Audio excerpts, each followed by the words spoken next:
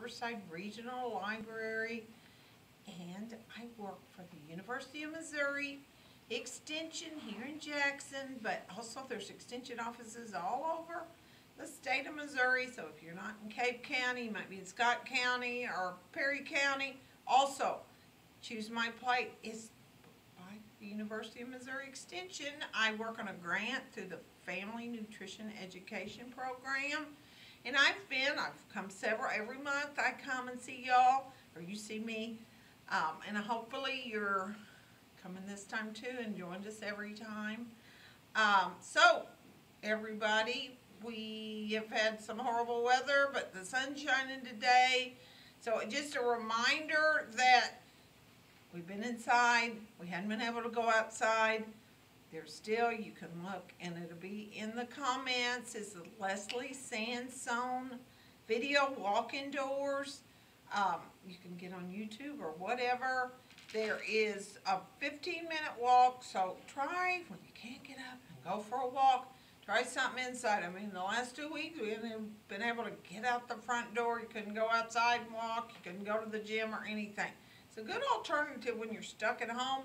Get up, put your pajamas on. I mean, you got your pajamas on, put your tennis shoes on. 15 minutes is one mile. There's even some more intense ones. Um, to just try to get something. Now today, I hope by the time this is filmed, it's getting sunshiny and getting nice so we can maybe get outside. Um, so look at that comment. Also, on my phone, we have the Eating Smart Being Active app. It will also be in the comments. It has all kinds of delicious recipes.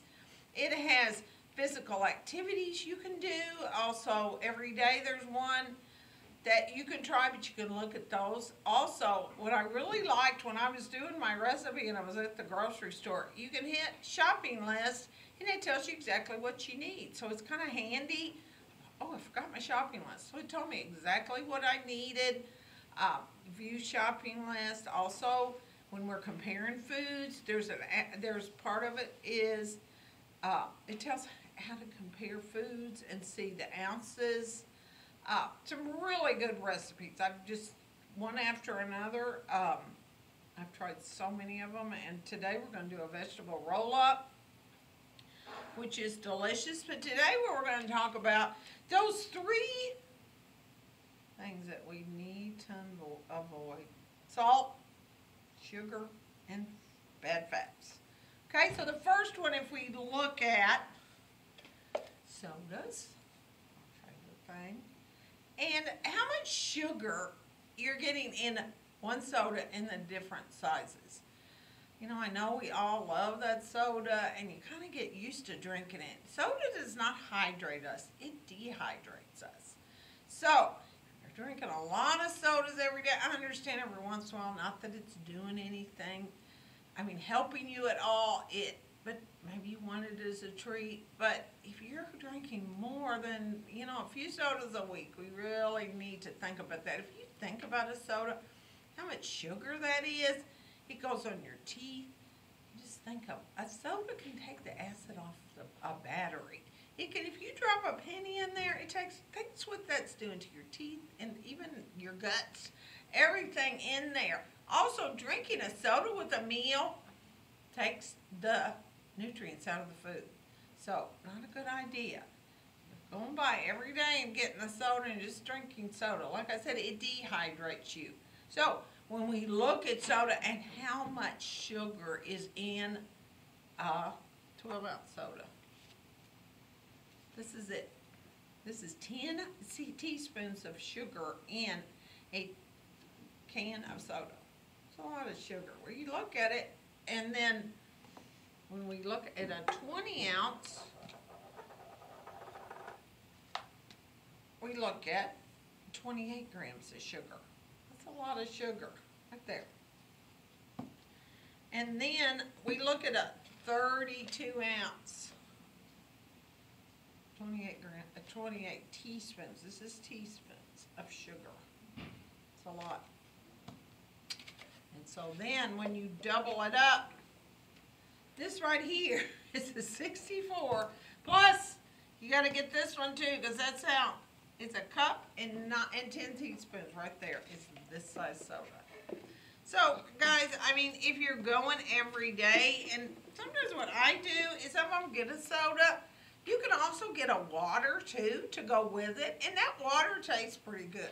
And so, then you're gonna drink your soda, but kind of alternate it with the water throughout the day. Um, it's a good way, and that water is really so good. It just tastes better, and there's something about drinking it in one of those cups. You're drinking it through a straw. So if you are drinking like just soda, and that's all you're drinking, you need to try to get some water in there. Also, um, skim milk or 100% juice. Now, with the juice, you're not just supposed to drink juice all day. You know, you need two fruits a day, 100% juice, or maybe alternate with that. Also, so if you're drinking, say, these just all day long, maybe drink one, then have a bottle of water or a cup of water. You'll get used to it. Sometimes they're like, I just don't like the taste of water. You know, put some fruit in it. There's little packets you can add. Also, guys, everybody's like, well, I drink diet soda, so it's zero calories. It has a lot of other stuff in there that's not good for us. Soda doesn't only have sugar, it has salt too, which what does salt do? So when we talk about salt, so that's some places. Now, what does salt do for us? Of course, it gives us high blood pressure. A lot of salt. Ways to do that get rid of the salt shaker. There's plenty of salt already. You get plenty of salt without this. And you will eventually get used to it. Some people, before they even taste their food, they just add salt to it. So try getting rid of that salt shaker. Also, fast food has a lot of salt. Processed foods, that's how they keep them alive. Something like green beans in a can, frozen vegetables, that's how they keep those foods. So if you're going to have a can of green beans, put them in a strainer and rinse some of that salt. Look on the labels. There's so many things. Lower in salt, no salt added. Uh, also, it will say no sugar added. Fresh fruits and vegetables do not have salt. They're not always readily available, but fresh fruits and vegetables, carrot sticks or something like that to crunch on uh, is a good, you know, way to do that. Fast foods, guys, that's what they keep it. That's what makes it taste good is that salt shaker. Um, and also for process. So try to cut down. Also foods high in potassium, like bananas. Help if you're eating a lot of salt. Melons, dried fruit, things high in potassium. Help if you eat a lot of salt and help lower that blood pressure. But not a good thing to have high blood pressure, not a good thing. So try to get where that salt is not your main taste, okay? And all salt's the same. It's not like, oh, I'm gonna have some kosher salt. I mean, it's still salt. I find that that salt you don't need as much when you get that salt shaker. So cutting that, okay? Then also fats. Is there are good fats and there are bad fats. The way, the best way to remember that those fats that are solid at room temperature. People like bacon grease isn't solid. It is when it's at room temperature. So you want to go for those that are solid at room temperature are the bad ones. And so that is the monounsaturated and the polyunsaturated are the good fats. So look in your cabinet. It's the easiest way to see those if they are not solid. So canola oil's good, peanut oil, olive oil, vegetable oil, corn oil, sunflower oil, sesame oil, soybean oil, and vegetable oil. Look in the cabinet. They're not solid at room temperature. Those are the good ones. Those that help. So what happens with fat? Fat clogs those arteries. And guys, even you young ones out there, you think, oh, so young. Oh. Over time, it builds up. Some people say, I'm skinny, I need fat. Well, you need to pick the good fats because you that's what causes heart disease. And over time, it builds up or those valves. So that's what we need to choose is those that help those heart valves. that clear those out. not those trans and saturated fats like butter, lard. Guys, I hate to tell y'all, coconut oil. Is it solid at room temperature? Yes, it is. I know it's a plant based and you think it's gotta be good for you. Solid at room temperature. It's saturated fat. I hate to say that about con- coconut oil. It's good for other stuff. They say it's good for your hair and your skin and other stuff. Coconut oil is solid, is a saturated fat. I'm so surprised by that. Now, you put it in the skillet, it's not room temperature anymore, okay? Palm oil and cocoa butter. Cocoa butter, what about cocoa butter, I thought it was in suntan lotion. Sunshine, whatever that suntan, it smells like cocoa butter, but I guess people eat it. But it's not a good idea, it's saturated fat. And of course, short, shortening and good old lard. It's not so good, guys.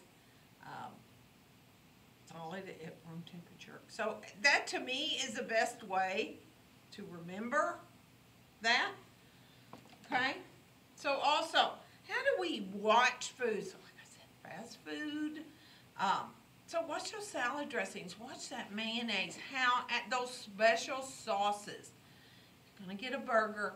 I'm not saying a burger is not the greatest thing, but gotta have a burger. Maybe instead of order fries, you know, have a salad. Or, you know, skip. Also, watch those special sauces. Better idea to add some vegetables to your burger, like tomatoes, lettuce, um, mustard, pickle, compared to mayonnaise, salad dressings. Watch those fatty salad dressings. It's amazing. They are just fat. How much? A couple tablespoons of, of salad dressing is. Kind of ruins the salad. Um, if you go to a restaurant, you're going to get a salad. Get the dressing on the side. Of course, those mayonnaise based are worse. You know, get a low fat Italian. I just like to make my own and use olive oil, a little vinegar, and even put a little mustard in it. Add some herbs to it to get flavor from other things besides fat. Also, those added salts, as I said. Just try getting rid of that salt shaker, you know, and watch fruits and vegetables, crunchy carrot has no salt, stuff like that. Start snacking on stuff like that instead of chips and all that added stuff, even with sugar, pies, cakes, all that pre-mixed stuff. Try to cut down on that salt, sugar, and fat, okay? Those bad fats.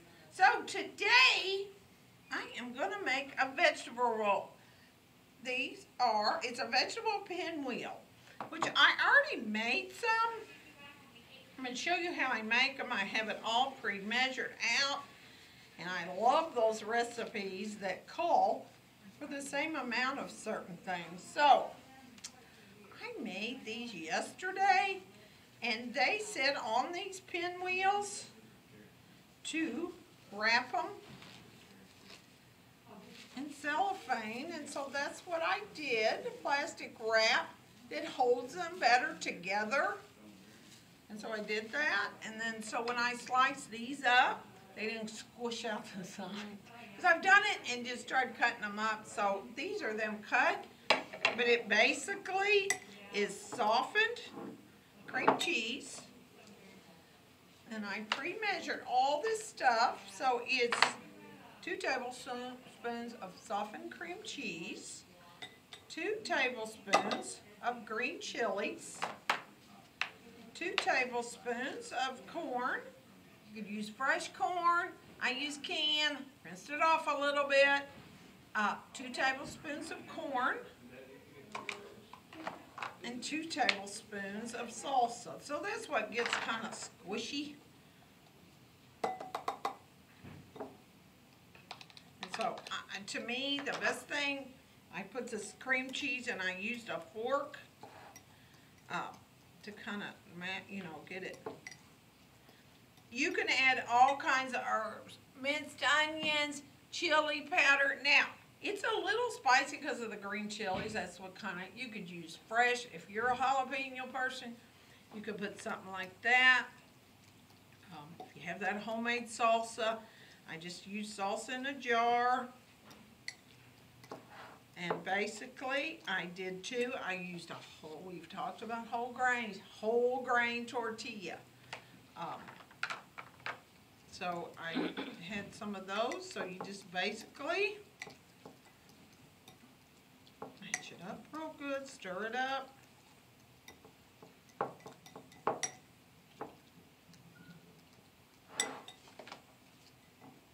And this makes three. Divide it into thirds, but I'm just gonna make one. Just roll it up as tight as you can. See how it kind of squishes out the side? It's kind of liquidy.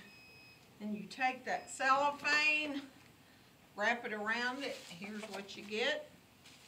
Chill it, and then slice them up like little pinwheels. And I said they that's those green chilies give it a little kick. So maybe if you don't like the green chilies, you can put some sweet peppers.